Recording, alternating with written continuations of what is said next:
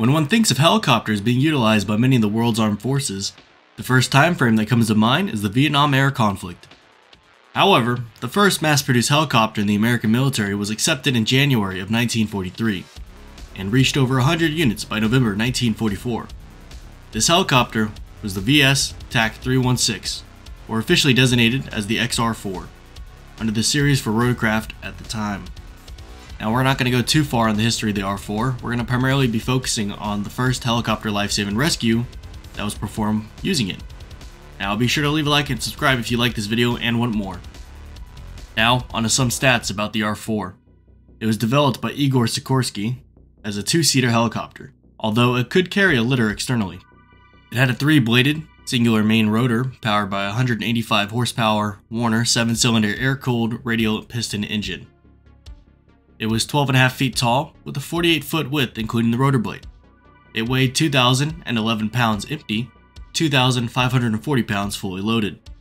Its maximum speed was 75 miles per hour, with a cruising speed of 65 miles per hour. It had a range of approximately 130 miles. Due to technology at the time, the pilot had to maintain a tight hold on the control stick, as loosening their grip would let the helicopter go out of control.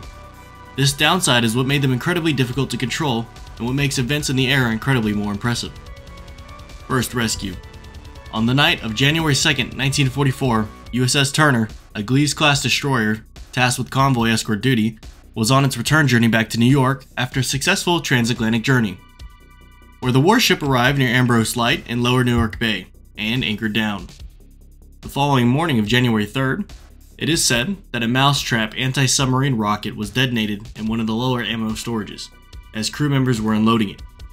Around 0650, the warship took on a starboard listing of 16 degrees.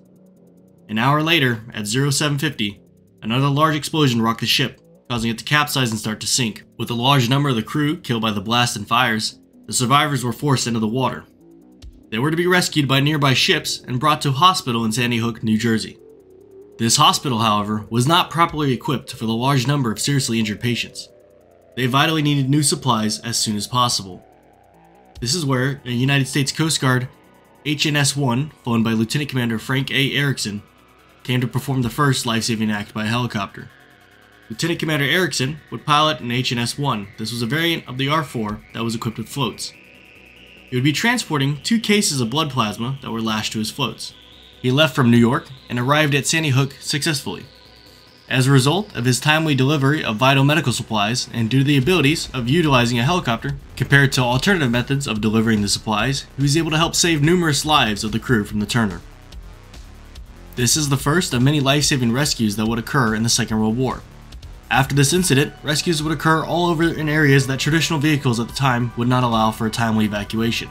In fact, the second rescue happened about 20 days later when another R4 made several leaps to reach a weather station located at an elevation of 4,700 feet.